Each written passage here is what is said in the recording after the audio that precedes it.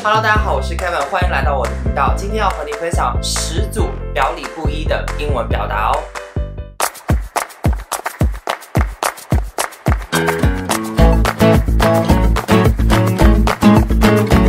OK，第一个，throw the book at someone，把书扔向某人吗？注意一下，这里当然不是这个意思，这里的意思实际上是指严厉的惩罚违反规则的人。那为什么要用书来进行比喻，而不是其他的东西呢？一般的规则或是条文是一条一条写在书上的。For example, I heard the judge threw the book at the thief. 我听说这个法官重判了那位小偷。OK, number two, speak the same language. 我们说的同一个语言吗？这里当然不是。注意一下，这个表达一般引申为某人有相同的爱好或者是想法。For example, Jack and Lily speak the same language on almost everything. Jack 和 Lily 几乎在所有的事情上的想法都是一样的哦。第三个，What's cooking？你是在问我煮什么吗？当然不是。注意一下这个表达，类似于 What's up 和 What's going on，它其实是一个招呼语。For example, What's cooking? Do you guys want to hang out tonight? 怎么样？大家今天晚上要不要出去嗨？OK, number four. I'm good，不用了。注意一下，这个短语有表示很好的意思。如果往后延伸的话，就会变成说我这样子很好，不用了。比如说我们在购物的时候，促销员一般会向你做一些介绍。如果这个时候你 say no，就会很直接。我们可以说 I'm good 来进行委婉的拒绝。For example，Do you want more fries？你还要多一些薯条吗？No，I'm good，不用了，没有关系哦。第五个，knock it off，把它敲击下来吗？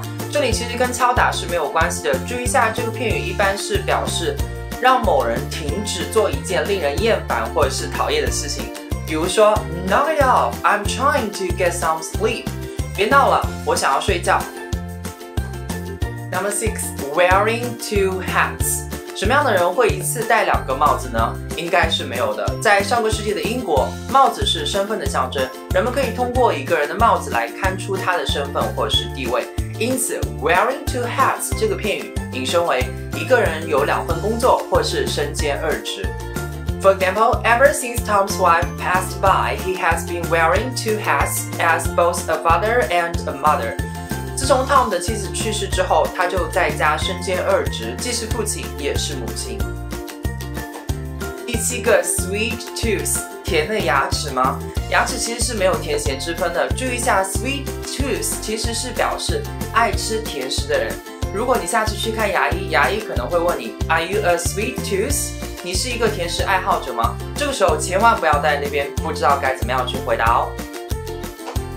Number eight，get a life。从字面上来看是说得到一个生命，那这样会不会觉得很奇怪？其实 life 还有表示生活的意思，所以 get a life 是说去过自己的生活。一般我们可以用在，比如说对一些浪费时间或者说无所事事的人说这句话。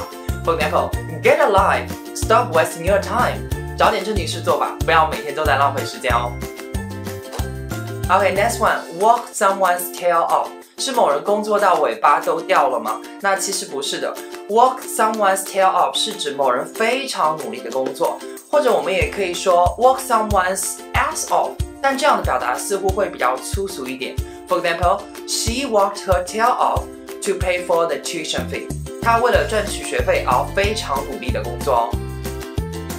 Okay, the last one, in good hands，被可靠的人照顾。 For example. Dr. Lin is the best in our town. You are in good hands with her. 林医生是我们这里最好的医生，你会被他照顾得很好的。好的，那这样子有没有搞清楚呢？还有哪些比较容易犯错的英文你觉得会比较常见呢？那也欢迎大家在下面的留言区留言，小英语会不定期的去做更新，希望大家一定要订阅或是关注我的频道。我是 Kevin，这里是 IT 英文教室，Catch you guys next time，拜拜。